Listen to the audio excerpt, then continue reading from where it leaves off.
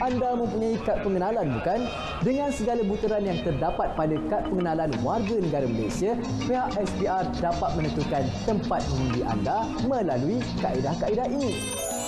Yang pertama, lokaliti iaitu taman atau kawasan perumahan seorang pemilih menetap. Penentuan tersebut adalah berdasarkan alamat yang dinyatakan dalam kad pengenalan pemohon.